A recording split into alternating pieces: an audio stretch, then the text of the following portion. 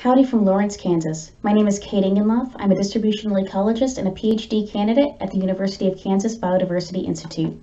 I'm sorry I'm unable to thank you in person for selecting me as one of the two 2018 GBIF Young Researcher Award recipients. Although in my case, young may be a slightly inaccurate description. Nevertheless, I'm fully aware that there's a plethora of amazing research in the works across the globe, and I'm incredibly honored to have been selected by the GBIF Science Committee for this year's doctoral award. GBIF mediated data are often the distributional ecologist's go-to source of species occurrence data for use in correlative modeling applications, otherwise known as species distribution modeling or ecological niche modeling. Unfortunately, many of these data lack biological context. That is, they often have no information about gender, age, breeding status, and so forth, which is a particular concern when we consider behaviorally complex species such as pelagic seabirds and many other migratory species.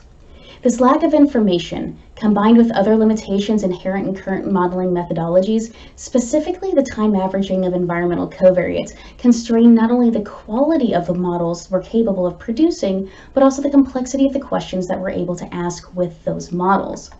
Thus, my doctoral research aims to improve modeling capacity by addressing two questions. First, can environmental covariates be efficiently incorporated into traditional modeling frameworks in a temporally explicit manner?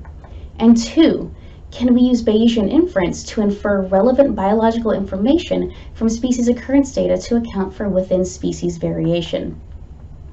Now, our ability to incorporate temporal dynamics and species behavioral complexity into existing methods will result in more robust, biologically informed models that address specific concerns of species level management and policy development for highly mobile and or, and or migratory species, as well as disease vectors of public health interest.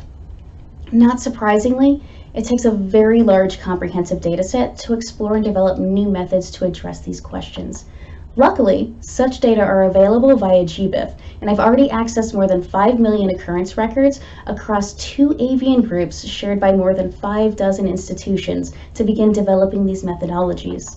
And I've got to be honest, even though I'm still up to my eyeballs and not quite completed R-code, all in all, things are looking pretty positive.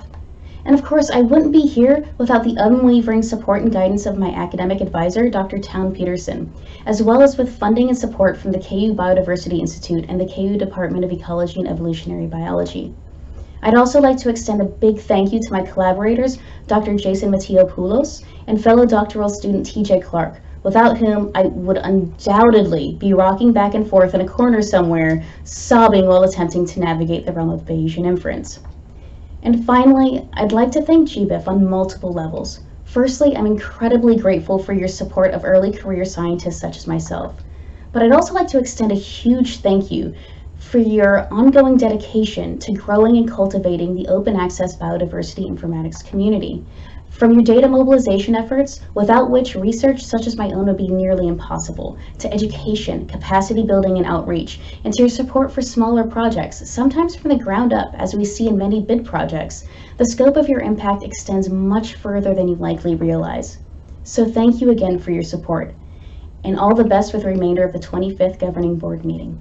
Cheers.